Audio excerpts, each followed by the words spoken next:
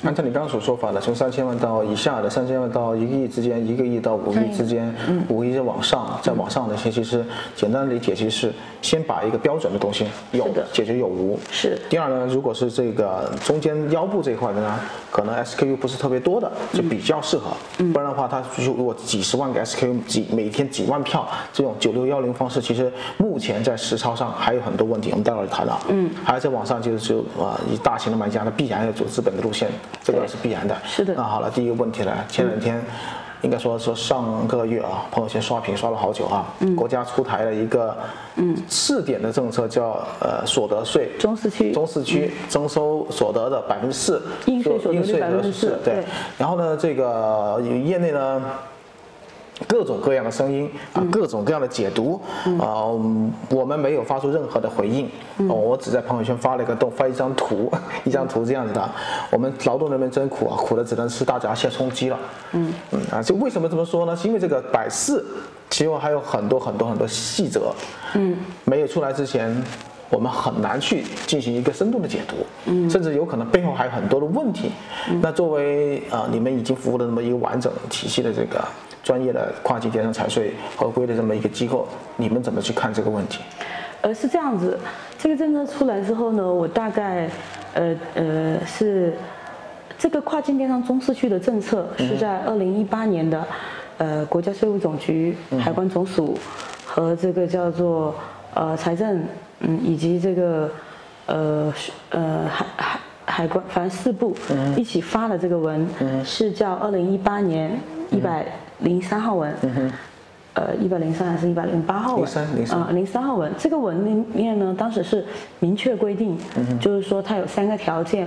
嗯，在二零一八年十月一号开始试行。试行呢，就是第一个条件就是，比如说在中市区注册，对，啊啊的企业。第二，你在中市区注册的企业之后呢，你的产品要通过中市区的平台去申报它的，比如说订单信息、单价金额、通关信息，啊，这是第二个。第三个呢，就是这个企业呢，它可以做到，啊，就是呃，当时候出的这个，呃，一百零三号文上面只是写了，呃，就是。免征增值税和免征消费税，其实免征增值税和消费税呢，它一直是延伸的，因为对于出口来说，我们国家从一九八五年增值税条例呃试行以来，呃就有这个叫出口退税的制度开始，就有这个叫做呃就是出口免税的这个政策，嗯。所以其实免税它一直是有的，嗯。但当时这个文最大的一个点呢，就是当时没有明确这个呃，比如说它明确了增值税和消费税的免税问题，嗯因为本身跨境企业，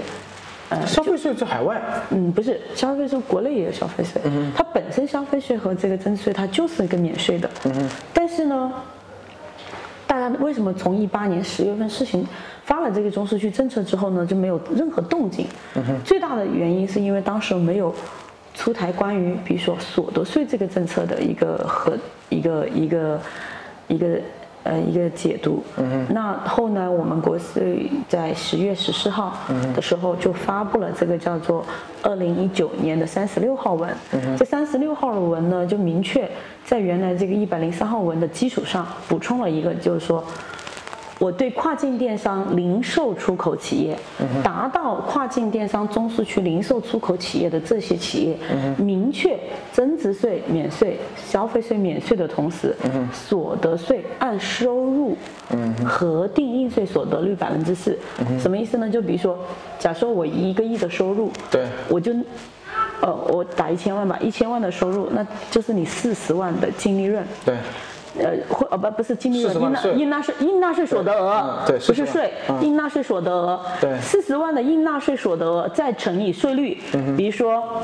如果我们的税率是百分之二十五的话，那相当于我们就是一万块钱的税。税，所以它的税率大概就百分之一。但是，因为去年我们国家就发布了这个小微企业政策，所以呃，对中市区的这个跨境零售出口企业，除了能够享受这个呃百分之四应纳税所得率的政策之外，嗯同时它还能享受小微企业的政策，所以它是双政策叠加享受税收优惠。那小微企业政策是什么呢？我们解读一下，比如说，如果一千万，按照道理来说，比如说你的应税所得率百分之四，你就是四十万的应纳税所得。嗯那按我们小微企业的政策，一到三百万之间的税率，应纳税所得额是，呃，一百万以下的是百分之就是。嗯，五最最终实际税负百分之五。如果是一百万到三百万之间的话，应纳所得实际税率百分之十。我做了一张图，那个图到时候我可以发给您。嗯，就是很一目了然的就看到，比如说一千万，基本上它就是千分之二。最后就因为四十万乘以百分之五，就相当于它是就就百分之二的这个千分之二的这个呃应纳税所呃就是所得税税率。包括七千五百万，我们也做了一个对应的，就是将相当于就是二十五万，因为七千五百万百分之四的应纳税所得率，刚好它的应纳税所得是三百万，三百万就相当于是交二十五万的，呃，应纳税所得，所以那就相当于你七千五百万的销售，对于一个跨境电商企业来说，那我就是二十五万的所得税，我已经交完了我所有的所得税，而且明确了我不需要你的。呃，核定你的你的进项啊，你的有没有都没有关系，你的成本怎么列支，没所谓。但它这个政策哦，是这样子，它这个政策有个最大的问题，现在没有明确的呢，就是。注注册中市区这个呢，我们已经做了，呃，就是做了一批客户，我们有一批客户已经去注册了。不复杂。这个真不复杂，就是它有一个跨境电子中市区的公共平台，我们，呃呃是呃，如果是呃跨境电商企业啊，我们就符合资格的，那我们就是拿着这个你们本身企业的注册的这个到中市区的平台去注册，注册完之后他会给你一张备案证书，备案证书上面就有账号密码，这个倒是不复杂。其实现在最难的是什么呢？就是这个产品备案，包括这个，它要求是你所有的产品要经这个跨中市区的这个平台通关。嗯哼。这个呢，可能现在我们确实也有一批客户先行先试啊。嗯哼。啊，在先行先试的过程中就遇到了一些问题。我们刚刚讲讲到这个呃这个中市区的问题，我猜可能问题在哪里？虽然谈到中行呃先行先试，电商企业去做这个在平台申报本身的 SKU 就非常的多。嗯。尤其是通过九六幺零出去的，可能都是非常可怕的。嗯。还有就是可能是在这个品名匹配，这实际上其实存在很多的实际上的问题。嗯嗯嗯，是的，呃，其实这个政策呢，它我们自己啊做预判，嗯，其实还是呃为了鼓励出口，然后因为毕竟我们现在跨境电商的这个出口额确实是已经非常的接近我们平传统大贸的出口额，再加上，嗯，昨天晚上我们看了数据。呃，我们今年一到九月份的一到九月份的出口，目前是负增长百分之零点二啊，所以呃，对我们嗯整个这个呃国内包括中美贸易战这个环境下的这个跨境电商企业呢，呃，就是国家还是希望给我们这个行业和我们这个群体一些更多的政策优惠性政策，鼓励跟支持，鼓励和支持我们的那个。呃，走走出去嘛，因为改革开就是这个叫，呃，我们的那个口号叫深深入改呃深入改革开放，改改革开放，对吧？所以那可能就是我们会鼓励更多的企业还是要走出去，还是走出去，然后才，所以呢，估计接下来也还会有更多的政策，嗯嗯，会我们我们跨境电商的群体上。我们一直在关注这个百分之四的这个所得税核心的问题，就是我们刚刚看到，无论是这个申报主体也好，或者它在实际操作方面，我们当时想有可能会出现一批专门。就类似咱们当年传统外贸这种是的代理，是的，它其实作为一个中间的一个集合，嗯，啊，集合以后呢，再统一给海关，因为这里面电商务部，对。电商部，因为它涉及大量的这个数据是的，是的，因为如果说像一个三千万的卖家，你要去专门做这事情，它其实划不来。这个其实我们呃，等一下那个阿 King 也会跟你介绍，因为其实我们易税通，因为我刚刚说了，我们在传统的外贸做了将近十几年，嗯，所以在传统外贸的整个。整个，比如说，呃，传统外贸的开始的野蛮，野蛮到传统外贸的呃政策鼓励，然后对大量推行出口退税制度，对吧？然后到政策之后的一个呃出口退规范，规范完之后，这个出口退税又被一些滥用，滥用政策之后，出了系统性的风险，对对吧？又又打击这个嗯骗税的情况，它其实就是这样子一个循环。在跨境电商哦，它这个财税合规一定也会经过这个它。现在已经开始到了一个到了封顶，要开始往下去做调整。是的，是的。然后呢，还有一个就是我们，呃，当然这一块我们也做了布局，到时候阿 K 也会介绍，就是我们在大概我们公司成立五到六个月的时候，嗯嗯，哦、我们就我们两个就是包括我们一些后面的顾问和合作伙伴，我们今天的呃也会介绍我们这个后面的一个强有力的 IT 的那个股嗯资方，嗯，呃，那我们其实是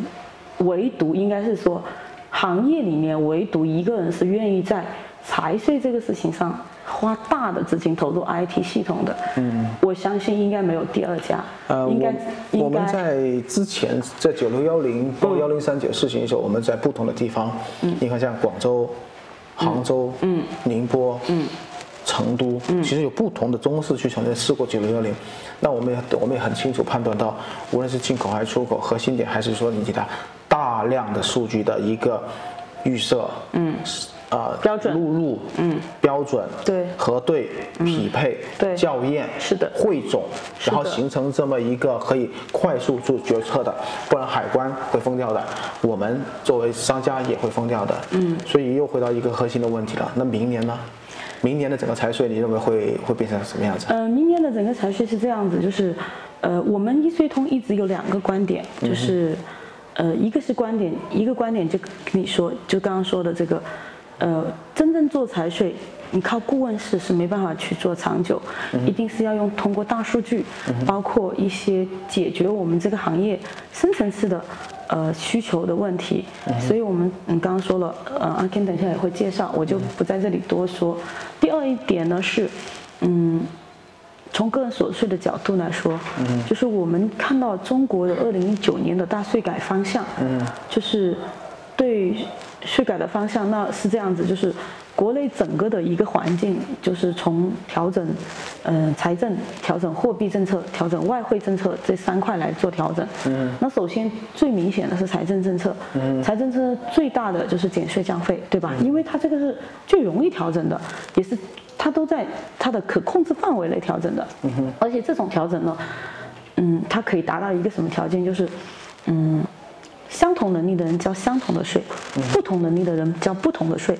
所以呢，我们一九年大的税改，它的方向是什么呢？就是减税降费的为主题。嗯，但是，但是，嗯，这也是我们卖家为什么一直担心的点，就是他在个人所得税的这一点上，我们从来没有说是减税。我们认为这个是一个很可怕的雷。是的，是的，所以呢，呃，再加上因为我，呃，我和阿 Ken，包括嗯，跟一些欧洲的会计师同学，就我们包括阿 Ken 对美国、加拿大这边的呃税法的一个解读，哎、我们来对比一下中美的个人所得税，发现美国，美国个人所得税说白了就叫智商税，就谁有能力，你交更多的你有很有。很多的方式方法是的，进行一个组合。是的，所以呢，个人所得税呢是在我们国家今年啊，就一九年开始，整个大税改改的最多的一个税种，而且呢，就是包括一些我们个人所得税的一些政策，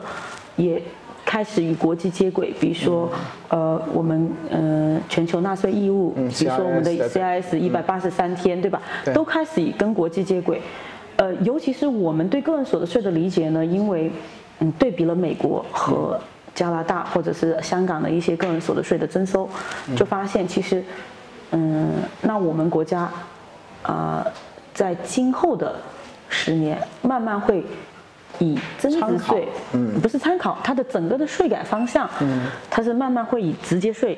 嗯，就是比呃间接税，就是比如说增值税啊、流转税这个，它会慢慢慢慢在降。所以你看，它的那个增值税税率一直从十七降到十六，现在十六降到十三。包括克强总理还明确的说了，三档要并两档，那意味着某一天要降到九，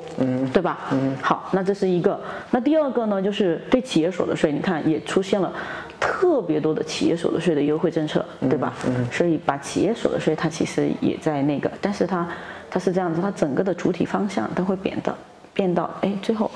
哎，我一直到个人所得税征管。那个人所得税原来在我们国家叫一个工薪税种，就是拿了工资的那一部分，就单位扣缴义务人帮他申请了个人所得税。嗯。但大量的企业主，他在分红啊，或者说这个叫做，嗯，个人交易的这个行为上面都是没有交个人所得税的，所以这个可能是我们卖家，啊，也是我们在以后面这个去做。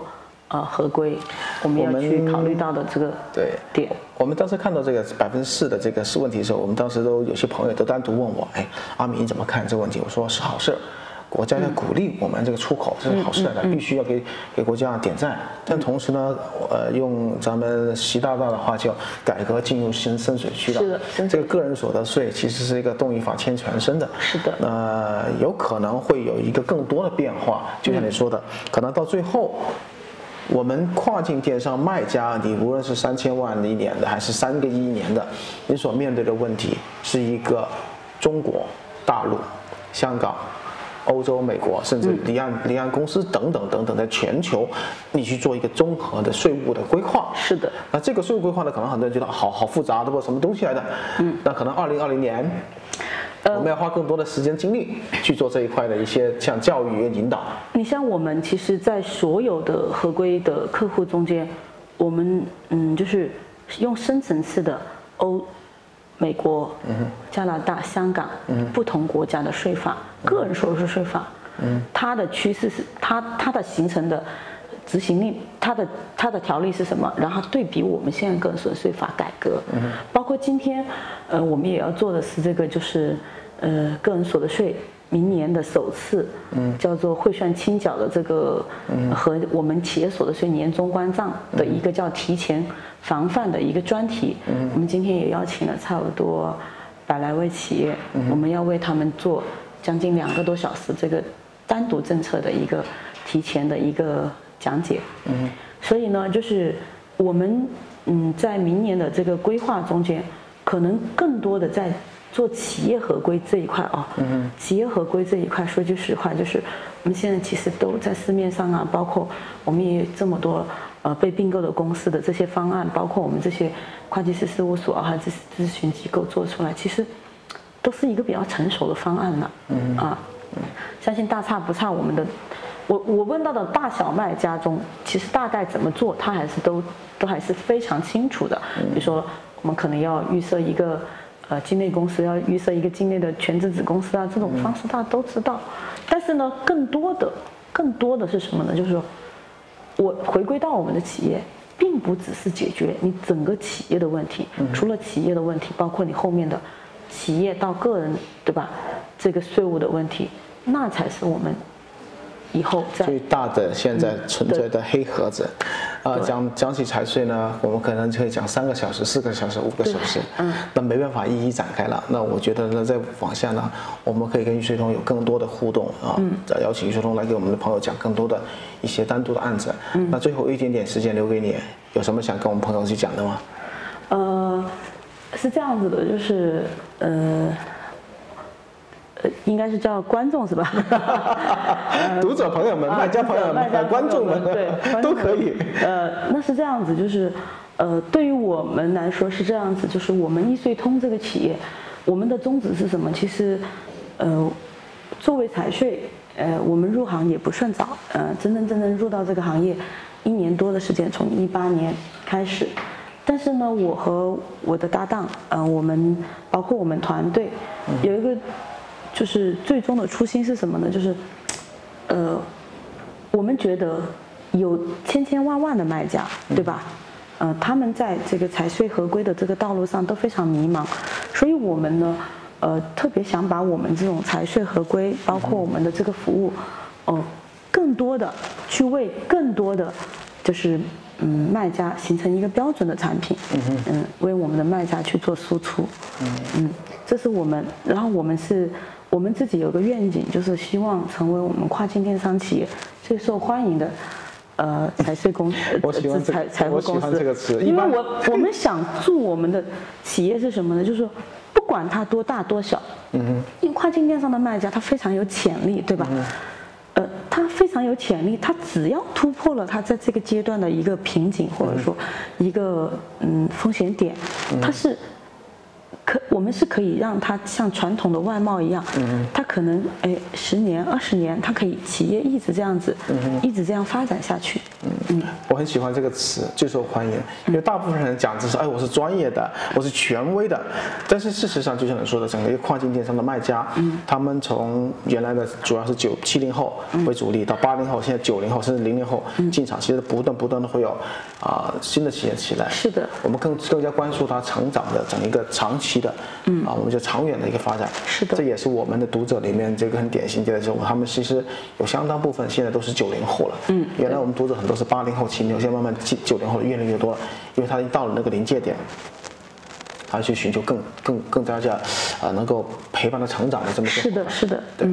那再再讲下去呢，我们估计我们要再一个小时了，所以呢，啊、晚点我们再再安排更多的东西。那接下来呢，我们还会跟更多的朋友谈这个关于跨境电商财税这个问题，因为整个一个中国的出口，在未来在二零二零年，我们判断的，就像我们所说的。也是进入了另外一个深水区，是的将军。那今天呢，谢谢我们易税通的创始人之一熊林跟我们分享这个财税。那记得回来再看更多关于易税通的东西，好不好？谢谢兄弟。好，谢谢。那我们这一期的跨境阿米秀到此为止，谢谢大家，拜拜。看跨境就阿米。